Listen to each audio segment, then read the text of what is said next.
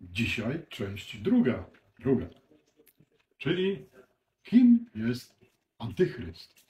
Skoro mamy kogoś zapraszać, to musimy wiedzieć, kogo zapraszamy. E, Bardzo interesujące dla mnie jest czytanie tych komentarzy. Nie, niektórzy się wygłupiają, ale pomijając tych, którzy się wygłupiają, niektóre są ciekawe. Tam było coś o antychryście. Kto to niby będzie, że to taki straszny, okropny i tak dalej. No to przyjacielu, który dałeś tego, e, ten komentarz, nie znasz Biblii.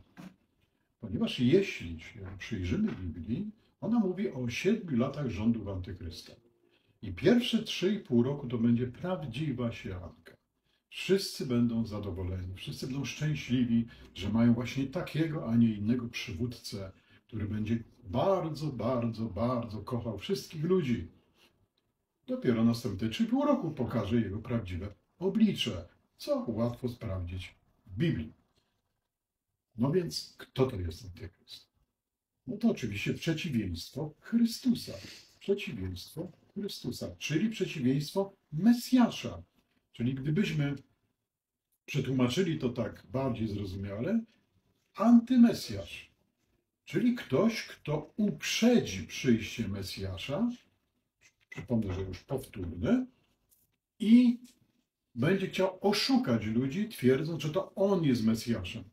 A więc nie może przyjść, żeby mordować, nie może przyjść, żeby zabijać, nie może przyjść, żeby prześladować, tylko przyjdzie jako fałszywa miłość. Będzie taki dobry, będzie ciasteczkowo-budyniowy, będzie wszystkich przytulał do siebie. I powiem wam więcej, on będzie naprawdę chciał, żeby ludzie się kochali byle bez Boga. I to będzie największe oszustwo, ponieważ do jakiegoś czasu to będzie możliwe. Ale przekona się, wszystko znajdziecie w Biblii, że ludzie nie są tacy, jak on chciał. Powoli będzie narastała jego frustracja.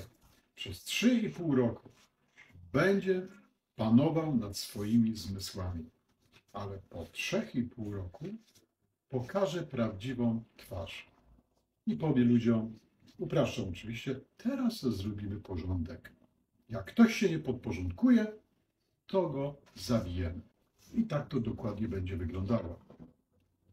Dlatego, jeżeli ktoś chce jedności i miłości bez Boga, to zaprasza antychrysta.